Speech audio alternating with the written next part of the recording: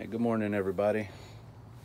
So I've had a few requests um, here on YouTube and on uh, Instagram to, uh, you know, do a little tool, uh, kind of like a tool bag um, loadout video. So uh, this will be for those guys that wanted to see this.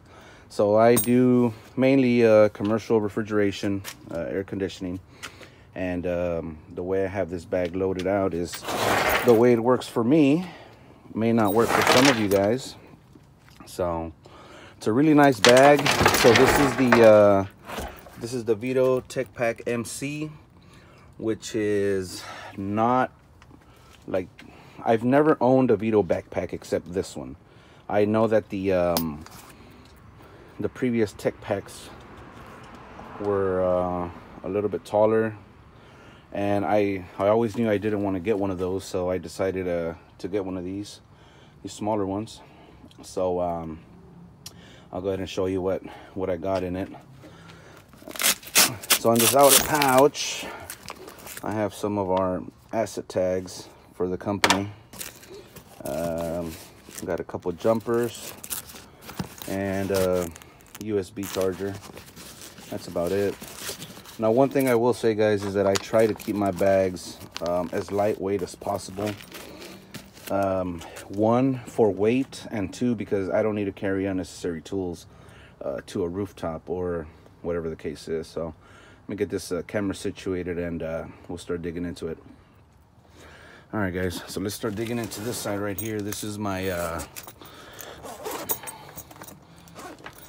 I call this my tech pack side or tech side. So this is pretty much where I keep my Fieldpiece probes. Keep three clamps in there. This one's on for some reason. There it is. Keep my pressure probes, transducers right here. my meter. I'm a really big fan of this meter, the SC440. Does everything I need it to do. Keep my uh, my two I don't know what these are called. I just call them air probes. So return and supply air um, it's like just to do some electrical work some crimpers and the uh, Klein all-in-ones so, I said I keep minimal tools like I said. Um, got some fuses some uh, blue wire nuts, orange wire nuts, some spades, a couple screws, a couple Schraders. Call these, uh, not these right here, these right here. Call them jelly beans. I've never seen these before. Good for freezers when you're changing out sensors. Just little little parts tray. Non-contact voltage, never ever use this. I never do. I mean, Keep a little Milwaukee Rover light. This is a really good light. So I keep one of them in. I keep generally two of these UEI PDT 650s, but I just recently left one at a store, so I'm down one. And I keep uh, some stubbies. Always need some stubbies. The tea from Appion, charging T. It's really good couple extra batteries for the probes and um, alligator clips for my uh, leads. Some meter leads right here. Um, that's about it gents. I don't carry a whole lot. Little charger for this type of light battery. Also carry my uh, headlamp. I use the same battery so I have a charger with uh, extra battery in there and you always need solenoid magnet. Uh, and this pouch right here is kind of like a, I call it my bastard pouch. So, got some Nylog, always need Nylog. Got an M12 charger. Uh, charging wire. I always carry a little six foot measuring tape and extra TXV screens. This is one that I just recently took off I haven't cleaned it, so I clean them and I just keep them in my uh, bag. So I'm constantly changing these out or cleaning these out on cases. That's it for this uh, tech side, guys. Let me go ahead and, uh, and get on over to the other side. All right, guys, now this is the uh, back side or the side that goes on your back, of course. And this is just where I keep my tools, um, just my hand tools. So I always carry my uh, M12 uh, stubby impact. Um, here I have uh, just a couple of the most popular size wrenches, you know, from 3 eighths to 5 eighths. And I've always, always been a fan of 90 degree angle deal. I've never ever used this when I bought it. Never used it. I used the old one, but my old one uh, broke on me. I carry two crescents or adjustable wrenches. These are Bahcos. So large, what is it, like 8 inch, I think, and a 10 inch. That's what I use. I'm a real big fan of these uh, Knipex names, but I'm a real big fan of these uh, Knipex pliers. They're really, really, really useful. And right here, I just carry all my Klein screwdrivers. The 8 in one, it's a really great screwdriver.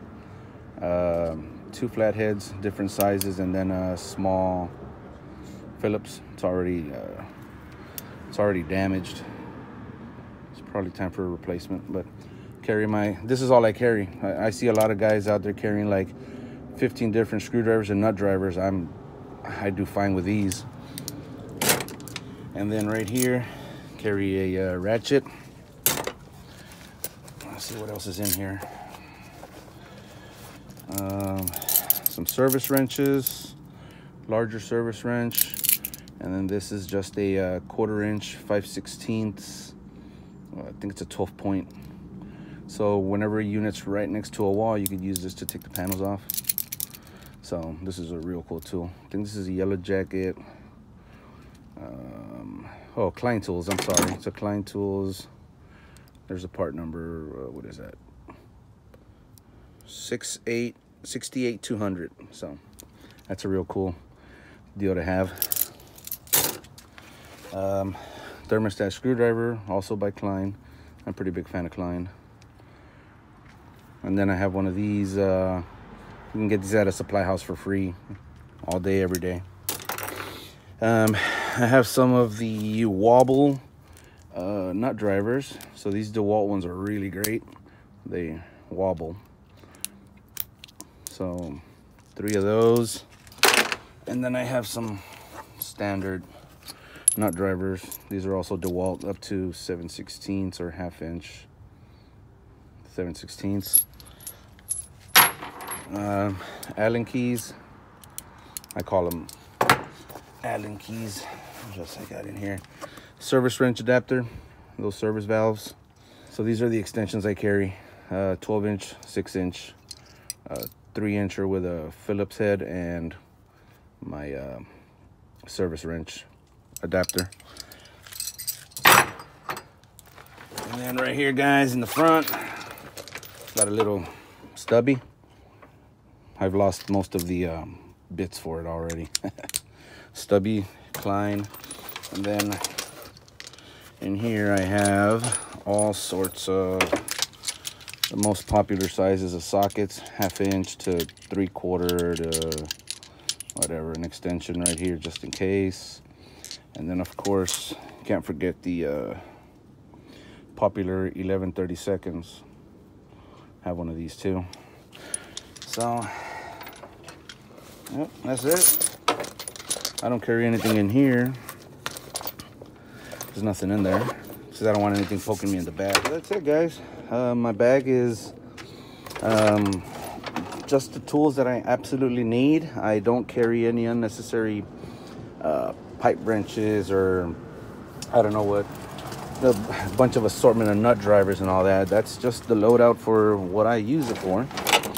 Carry a little bit of uh, Teflon tape, black and white electrical tape, carry a marker and a paint pen. That's it. But you know one thing I am in, I am uh, curious about is I want to know how much this weighs. I've never weighed it. So uh, let me put everything back in and we'll go weigh it up on the scale. Guys, we got the scale uh, ready to go. Um, I've never ever weighed it, so I'm gonna guess it weighs somewhere between 25 and 25 and 30 pounds or so. It's uh, it's, a little heavyish. So let's go ahead and uh, throw it on the scale and see what we got. So we're uh, zeroed out. Oh damn! Yeah, she is heavy. Let's see how much it weighs. 30 pounds and one ounce. Wow. yeah, see? And the bigger the bag, the more stuff you throw in there. So imagine if I had like the, the tech packs, the bigger ones. Yeah, I don't think I'd like that very much. So, ooh, now that we're weighing stuff, let me go ahead and grab my uh, TP4B. I'd be curious. All right, guys, got the TP4B uh, on the scale with the bags that are hanging on the side of it.